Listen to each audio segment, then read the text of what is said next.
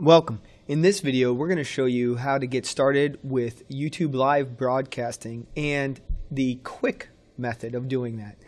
What we're going to do is show you uh, a little bit about how to get started and how to actually make a full Google Hangouts on air live broadcast. So let's get started. Make sure that you're in your YouTube dashboard and make sure that you verify your channel settings over here on the left have the live events marked on. If you don't have this option, it could be because you have strikes against you.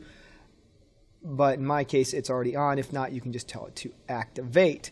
Now, once you have that under your video manager, you should be able to then bring up the live events panel. And the live events panel will tell you if you have any new events. You can click down here or up in the corner for a new live event. This new live event, I'm going to make sure it's a quick using Google Hangouts on air. And I'm going to go ahead and title it uh, Getting Started with YouTube Google Hangouts. And I'm going to have it start now. Uh, neat thing is, is when you are doing a quick one, you can have the option to do now, whereas otherwise, if you're doing a custom, you have to do a particular time. We'll get into that in another video. Now there's the description, and I'm going to just, this is a uh, how to get started with a YouTube live broadcast using Google Hangouts on air. All right, and if you're going to put some tags in here, you might do YouTube Live. You might do uh, Google Hangouts on air.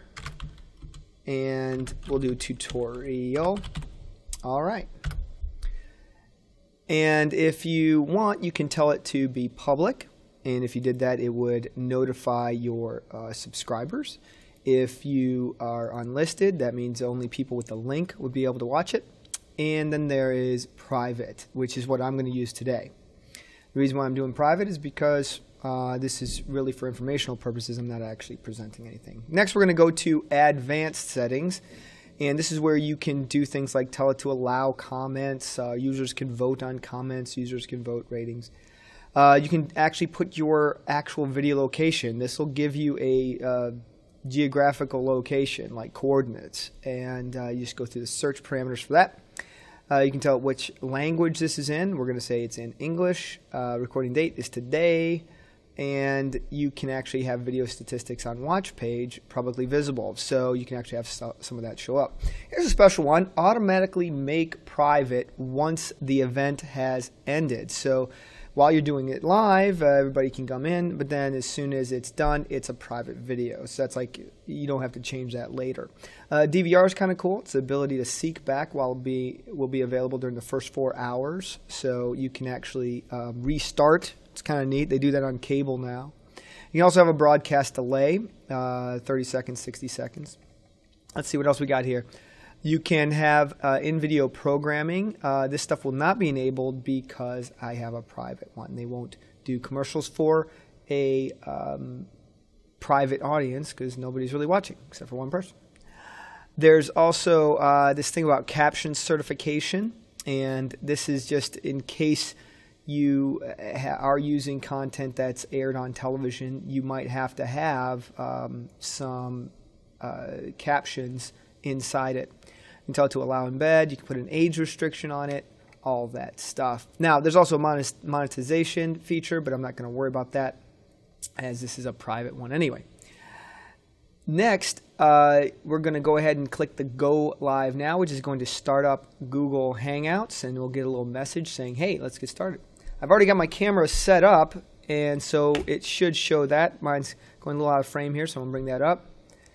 And there you go. So now you can see that I am down here in the corner if you were watching online, although uh, on the interface here, we are actually only seeing um, a big picture of the camera, but it's actually down here as well.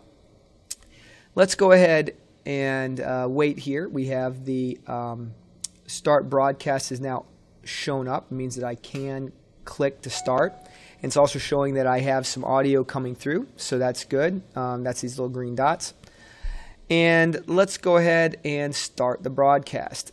And I'm going to click OK. And I'm going to turn off this rate the video audio quality. And now you can see that I'm working here and I am live broadcasting from Wade Hampton High School. And so here we go. What we're going to do is see if we can check out some of the features. You can turn off the camera and that's like now we're black. And you see my channel logo there. You can turn it back on. There's also mute the microphone. Hey, I want to say something that you can't hear.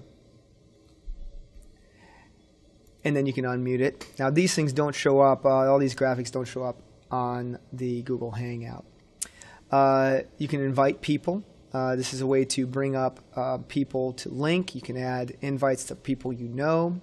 Uh, anyway, uh, let's see. We have uh, bandwidth usage. So this is going to be automatically HD because I have high bandwidth. Okay. Um, if if not, you just disable the HD. Under settings, this is where you can choose things like cameras. If you have multiple multiple cameras coming up, you can bring them up. I have Wirecast installed, so I have a virtual camera. I have microphones here. The microphone I'm using is my, let's see, let, should be my Yeti. Um, and default speakers are coming through my Yeti as well. You can also um, have it voice or studio.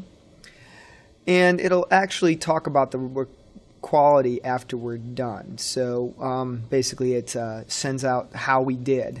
Um, let's see. Now, there's some other things we want to show you. On the left here, we have a chat and the chat allows you to chat and talk to the group while you're working. Uh, then we also have, I'm going to go ahead and close that. Then we also have the uh, screen share, and this is like you know a desktop. You'll see your desktop. So when I click that, I am presented, and it actually popped up on my second desktop. I'm going to show you.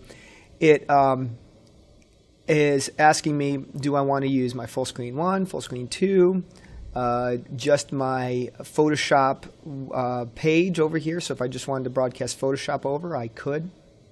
Um, maybe I'll do that. Maybe I'll choose which one to do. Let's do that one there, and we're going to say Start Screen Share. Now, what happened there is you'll see my uh, screen coming down over here, and let's see, I'm going to just make some changes here. We'll just show you the before and the after on my uh, image here. So there's a little bit of, of slowdown with it, but that's okay. I am recording my screen as well as broadcasting at the same time. So that's a lot of stuff to go on. And so you can see what I did to fix that picture and uh, made that one a lot nicer. And to stop the screen share, you just click back on the screen share button and I pop back. And the entire time I show up down here in the corner. So you can hide from broadcast or show your profile uh, logo or mute so you can actually not always be on the screen if you don't want to. Uh, let's see. Um, the capture, that's just this um, window here. You can bring up cameraman where you can uh, adjust adding other uh, cameras from other people. So like they can um, join your broadcast and come on in. And let's see, I'm going to close cameraman. And then we come over to the control room and we have some cool things in the control room. Let's take a look. We've got um, over here where you can adjust some of the audio settings. You can um, turn off the camera there so it does the same thing as what's over here on the left. Um, let's go ahead and close that and bring up the Google Effects, which is a little add-on. that You might have to download. It might take a second to download. And you can see that, hey, I've got a couple things going on. Let's see. I've got a background. We can change that background. And depending on you know the consistency or difference of you versus what's behind you, you'll get a better um, background. Um, you can just blur it, um, which is you know not a bad idea, especially if you have something odd on the screen behind you. You can blur the background, and that cleans things up. Uh, let's see. We also have um, I have some glasses on. Let's go ahead and change it to a snorkel. I think that's much better, don't you think? And it follows your, your eyes using a, um, algorithm. I actually found a PDF the other day that taught how they determined where your eyes connect to the object and how to actually do that. It was pretty neat. You can add extra apps down here at the bottom. Uh, bring up YouTube or or some of these other programs like um, a remote desktop, so you can actually uh, show somebody else's screen while you're in a video call. Because you know Google Hangouts is not just for uh, doing a, a, live broadcast. It's also for just calling your best buddy. So you can actually help them out by doing a remote desktop, and you can control their computer and help them out. It's pretty cool. And so anyway, there's um, other things you can add in. Let's go ahead and uh, turn off my, my features here.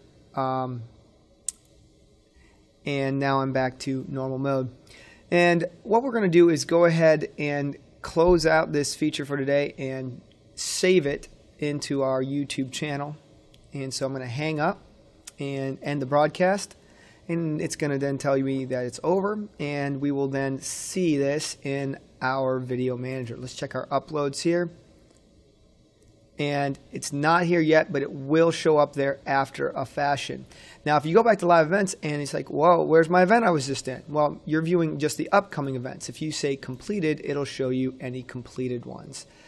And here's that video that we just had. And so it might take a few moments before that comes up, but we'll go ahead and pause that for now. And that's it for this video.